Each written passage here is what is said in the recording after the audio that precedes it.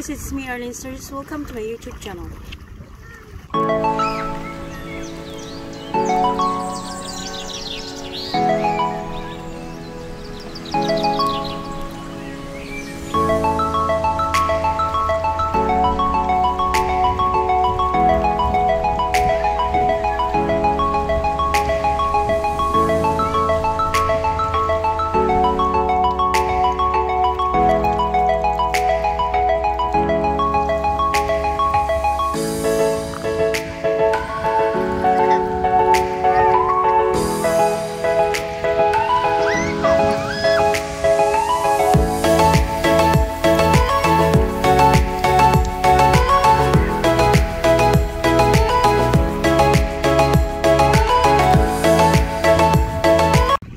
Nandito kami ngayon sa kung saan ako lumaki.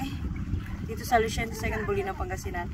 Ito yung best part ng place namin uh, dito sa probinsya. Actually, hindi naman kagandahan yung dagat kasi ang tagal-tagal ko na rin hindi pumupunta dito since nasa UK ako. Uh, kaya malaki na yung pagbabago. Ang dami na syempre yung pinagbago. Like, marami ng mga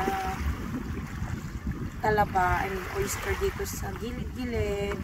Pero, yung the best part dito is, yung nakakamiss talaga, yung maalala mo lahat yung mga yung magkabataan mo, alam mo yon yung andito na lahat. Pag pumunta ka dito sa lugar na to, kung paano kami noon nag-umpisa na lumangoy, kasi dito lang hindi kami noon, nung mga bata kami. Tsaka pag nasa Pinas ka talagang hindi mo mararamdaman na yung mga pan may pandemic. At tsaka pag nandito ka lang sa tabing dagat, alam mo yung ang sarap kumain. Tapos sariwa pa rin yung hangin. Lalo na pag ganito na mahangin, alam mo yun, nakakawalang pagod, nakakawalang stress, nare-relax yung utak ko. Utak natin, I mean.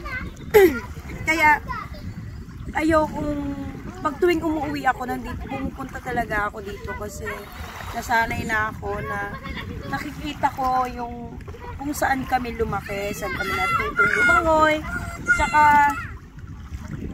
basta, iba yung feeling.